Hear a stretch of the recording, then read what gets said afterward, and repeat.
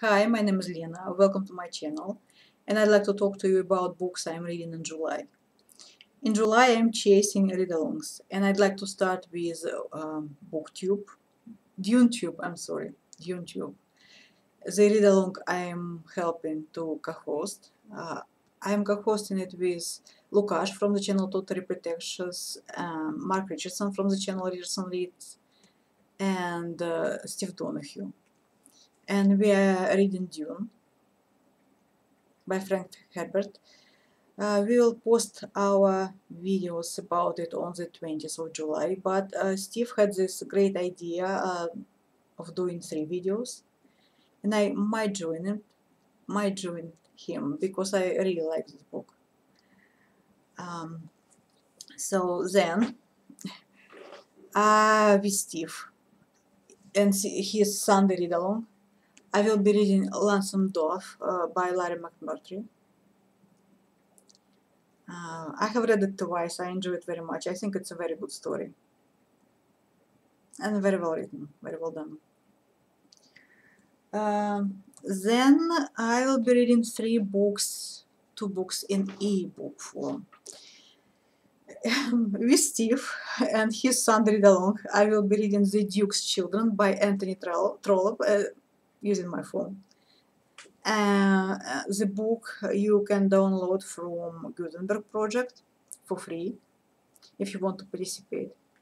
Uh, then I will be reading an epic fantasy uh, with Bookish, uh, Joseph Francis Burton, uh, Remembered Reads, Mark Richardson, and Steve Donoghue and it's going to be Lord's Foul's Bane by Stephen Donaldson. I'm sorry. So I'm I'm very curious uh, to see.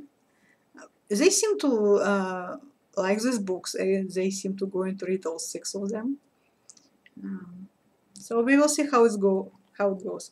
And I also I'm reading currently about 16 books, so it's about 16 books I'm currently not reading, and I want to finish them. So um, I'd like to focus on finishing um, Memoirs of Hadrian by Marguerite Yourcenar. I have it in ebook form, so I'm reading it on my phone.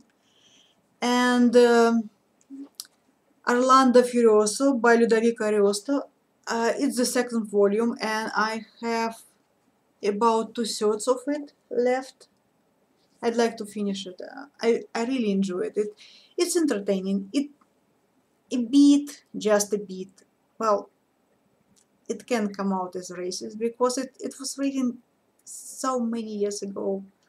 And it's basically about uh, Christian nations fighting Muslim nations so, well, it's about um, knights and their beautiful ladies. It has a lot of love stories. It, it's very entertaining. And there indeed, so...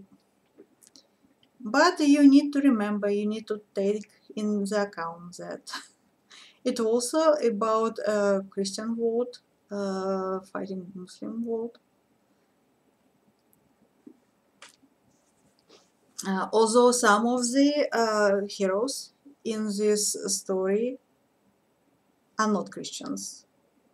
We are following some not Christians knights, but I guess they will uh, convert.